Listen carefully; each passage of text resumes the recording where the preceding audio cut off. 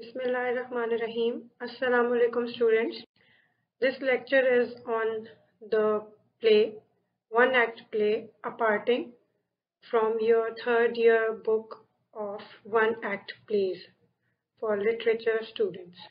This play is written by Gordon Bottomley and this lecture is presented by Hamna Shahzad, lecturer in English. Students, this lecture will help you in revising your display A Parting by Gordon Bottomley. First of all, about the author. Gordon Bottomley, the 20th of February 1874 to the 25th of August 1948 was an English poet and particularly known for his verse drama. He was influenced by late Victorian poets, Pre-Raphaelites and William Morris. He was partially disabled by tuberculosis illness. His major works include The Crier by Night 1902, Midsummer Eve 1905, Leonis and Danae 1909, then The Riding to the Lethe 1909, King Lear's Wife 1920. Now for your convenience, a short summary of this play. As you know, students, that this play contains only two characters, a mother and her daughter named Juliet. So, Juliet and her mother lived in a town. Juliet was engaged to a young man living in far away country, in a far away country. She had to travel to him and she had to leave her mother because her lover had waited for her for number of years. When the play starts, we see that mother was asking the daughter to get ready because she was getting late and the clock was striking. However, the daughter was not ready to go as she did not want to leave her sick mother alone.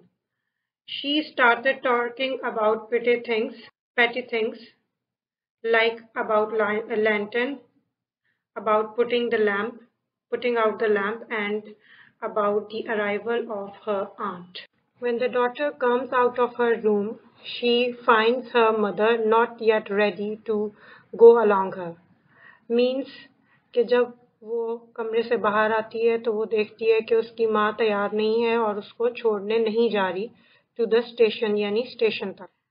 She concludes that her mother never meant to see her going away वो इस बात का अंदाज़ा लगाती है या वो इस बात के नतीजे पे पहुँचती है कि उसकी माँ कभी भी उसको जाता हुआ नहीं देख सकती थी।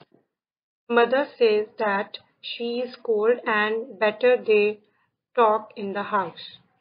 But the daughter complains, we can have walk together and we can touch each other. If I had been a son, you would have come with me. Why women are harder to their daughters? The mother answers, women are harder to their daughters perhaps because being women they trust them more. Now the daughter, out of her love, tries to convince her mother that she is unkind in sending her away. She says that they are only of they are family of only two people and they are poor yet she is sending her to far away country she further says that she would be able to do nothing without her love. The mother tries to make realize her daughter that uh, it is necessary for her to go. She says that her means mother's health is not good and she is near to her death and she means daughter must be open out to the life. Means उसकी माँ उसको कहती है कि वो तो बीमार है और अपनी मौत के करीब है और उसकी बेटी को यकीनन एक अच्छी ज़िंदगी जीना चाहिए So, further she says that a nurse can be bought from money. वो कहती है कि उसको देखभाल के लिए पैसे देकर एक नर्स भी मिल सकती है, लेकिन उसकी बेटी पैसों से वो सारी चीज़ें नहीं हासिल कर सकती जो एक जवान इंसान को ज़िंदगी में चाहिए होती हैं like the life with its wonders, its illuminations, its resources, its mercy, and its transfiguration. At this point, the daughter says to her mother that she would be proved far much better than a nurse for her, so she declares that she would not go. But the mother, mother asks her not to grieve her by saying that uh, saying this that she would not go. She says to her da- daughter that she must go and have her love. Convincing her, she says to her further that her love would bring fruit and comfort in youth and age for her. We can see that mother's experience and mother's wisdom guides her in sending her daughter to her lover. The daughter becomes convinced, but she says that she would not take the things with her. But the mother tells her that she has to take these things with her, otherwise, they would be sold. Being more experienced, her mother says that if she takes these things with her, she would be at ease knowing that these things are with her daughter and her eyes rest on them and remember. Daughter starts worrying about her mother's loneliness. She says to her that why she always changes her clothes in other room. Is there any problem or matter with her? A grave one. However, mother urges her to go as she was getting late, as she was almost late. But mother does not, the mother cannot stop her talking. She starts talking again. The daughter starts taking off her outdoor clothes. The mother advises her that if she does not go, she would lose her lover. He is very far away and long time has gone since last he saw her. If he is neglected, he would forget her and he would see for the present comfort as at this time he remembers her and he misses her. The daughter says that her lover should come himself and fetch her and support her and her mother. Further, she says that what would she feel when some other unknown person would make her bride. The mother explains and tries to make her daughter realize that it is their fate that she should go and they should apart. They cannot change their fate. All is settled and to alter is useless. They do not settle their fate. They cannot alter it. All what they can do is to accept it. The mother says that they have taken her friend into their vision and purpose, so they both have their duty towards him. So she asks her to leave. Both the mother and daughter take each other in arms, kiss slowly. The daughter goes away without turning. Mother goes to the window and thinks about her daughter's future and her loneliness too. Students, now I would go through some topics that would help you in making your assignments for exams relating to this play. First of all, a parting as a poetic drama. A poetic drama is a drama of emotions and passions and not of actions. So this play involves a lot of passions and emotions, and little action. The only action is limited to the departure of the daughter from her mother's home, and this action is followed by the lot of passions, emotions and sentimental emotional talk on the part of both the mother and the daughter. Although this play is a modern one, yet there is no complexity in this play like other modern plays. It is a simple one and the plot is very simple and commonplace.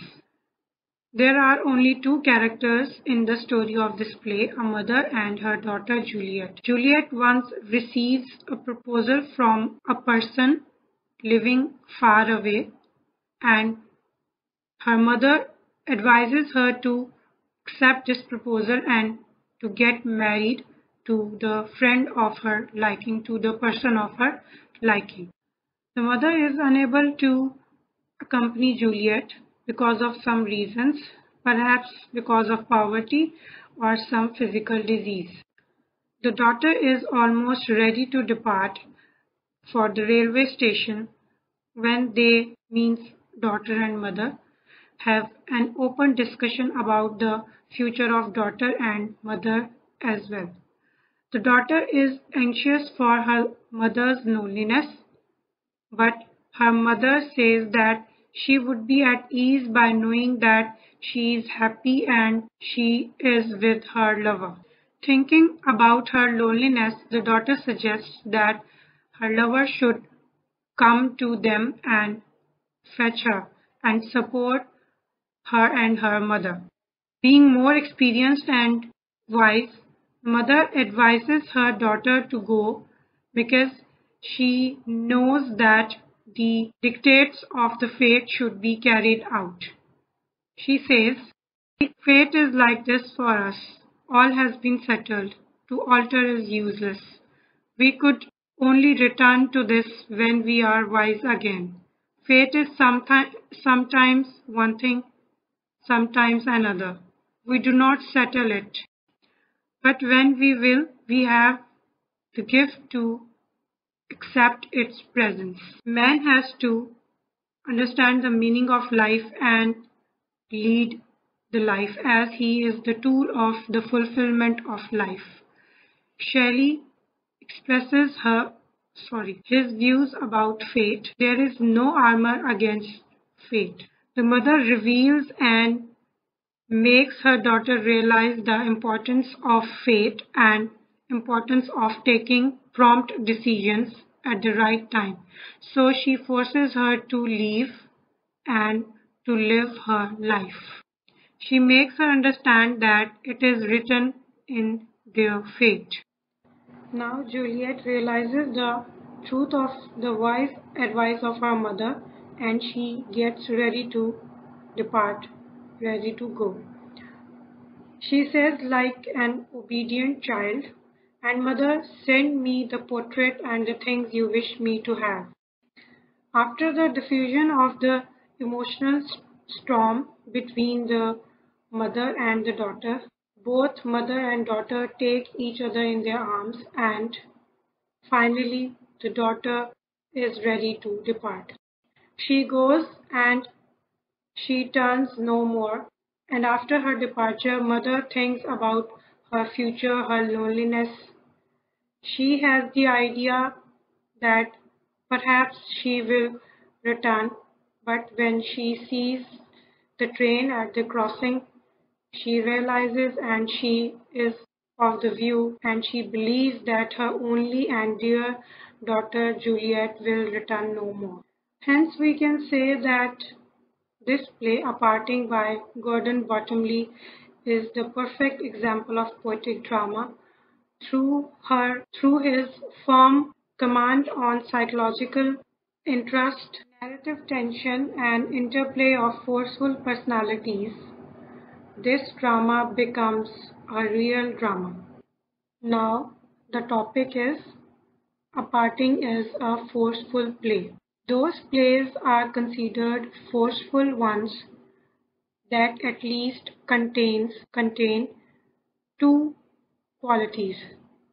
Firstly, they deal with some important problems of human's life and secondly they include secondly they include one or more than one characters that become caught up in a critical situation from which they cannot escape without causing much damage.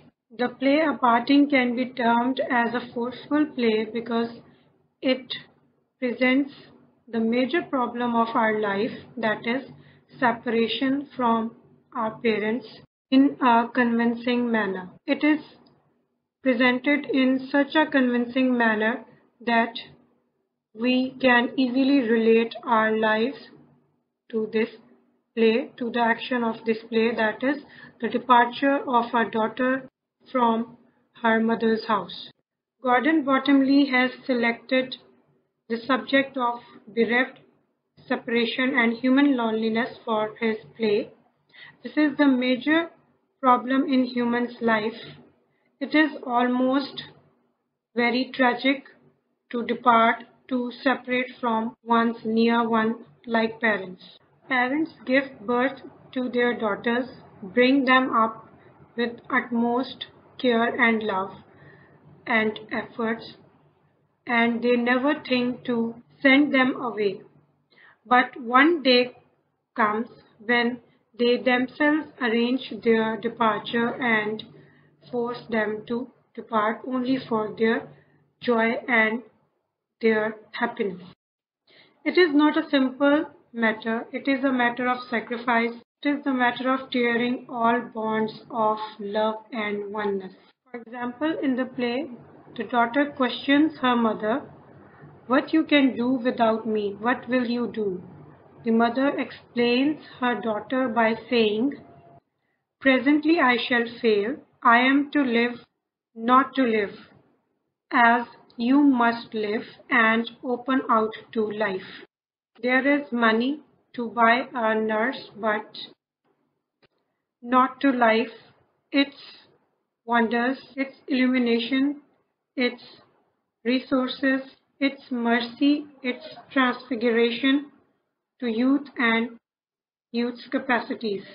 When we go through the above mentioned lines, we come to know that human life consists of two main levels. First is the physical growth and the second is perfection and fulfillment. Parents first contribute and sacrifice for the physical growth of their daughters and then they make them enable to move towards the second phase of their life that is perfection and fulfillment. So in the play we can see that the mother brings up her daughter first, makes her ready to move towards the other phase of her life that is sending her to her lover to get married. The second quality of the play that adds to its force is Juliet's situation in which she becomes caught up. She is a responsible daughter and she knows her responsibility towards her alone and sick mother. She knows that she can gain her joy at the cost of her mother's loneliness. On the other hand, she also understands her future, her own life. Her desire to revise her decision makes her almost a tragic character. Her anxiety, her situation, makes the play forceful. She knows that she has to pay the price in material form if she gains her own bliss and her own happiness. She has to sacrifice her mother's bond. She has to make her mother lonely. The title of the play is also very touching. When we catch sight of the title, we can understand the feeling and the agony of separation. The mother compares the agony of separation to that of departing soul. She says, When her father died, I saw how gentle words, a footstep in a street, a mouse in a dashboard, sorry, washboard, stirred him to agony, as though his tension was all that he could bear. Now I know why. So we can say that this play is very forceful. Students, now the theme of the play. The problems of modern man have become so complicated that have made him suffer. One of these problems is separation and this problem is very aptly presented by Bottomley in his play Aparting. The speciality of Bottomley's characters is this that he has created, he creates real human beings. Characters are non-offensive, compromising and fatalist, means they resign to their fate and destiny. As I have uh, told you earlier that the theme of this play is separation, the separation of the mother and a daughter. You already know that this play is about two characters, the mother and her daughter Juliet. The daughter does not want her mother to live alone as she is sick and poor. She wants to live with her mother, Which the mother desires perfection, fulfillment, and joy for her daughter. Separation is associated with loneliness and isolation, and the mother very and the mother is very well aware of her loneliness, yet she sacrifices her comfort for the happiness of her daughter. When her daughter says to her that what she will do after her, she says that she is poor in health and she will live no longer. So her daughter must be live and open out to life. The daughter understands the depth of the situation. She is ready to revise her decision and on the advice of her mother, she gets ready to depart.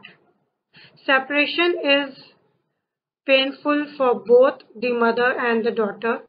Moreover, fate plays a crucial role in their lives, means in the life of the mother and her daughter, Juliet. Both are ready to accept their fate. They cannot avoid their fate. The mother says to her daughter, Fate is sometimes one thing, sometimes another, and we do not settle it.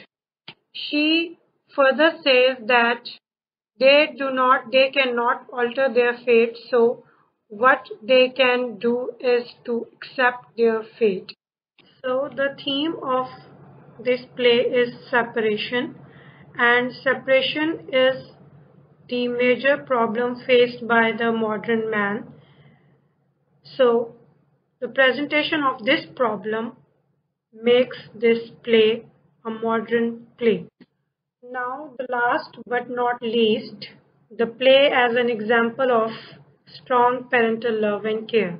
It is the acknowledged truth that, that the love of parents is the true love. Parents do all efforts, all type of efforts for their children. They sacrifice their time, they utilize their all energies for their children and expect nothing in return. After going through the story of the play, we come to know that mother is ready to sacrifice her own comfort for the sake of her daughter, her daughter's happy future. As she know very well that, as she knows very well that she will be alone after sending her daughter to her lover, yet she sends her. When the daughter reminds her, we have only each other, we are poor, you are not strong, yet you send me to far away country. The mother says, Presently I shall fail, I am not to live, but you must to live. Open out to life. A nurse can be bought with money, but not life, its wonders, its illumination, its resources, its mercy, its transfiguration to youth and youth's capacities. Goes away, her mother thinks about her future and says to herself, Dawn is not yet, the night is long, the morning hides what it holds. So does another morning, will it be another night like this? That is going on forever in this heart. These lines shows the concern of a mother for the future of her daughter. After her departure, she does not think about her own loneliness but the future of her daughter. She thinks if her daughter becomes successful in her marital life, the life would be uh, like mourning for her, and if she fails, the life would be a long night for her. Students, this is the end of this lecture. I wish you good luck for your exams. Allah Hafiz.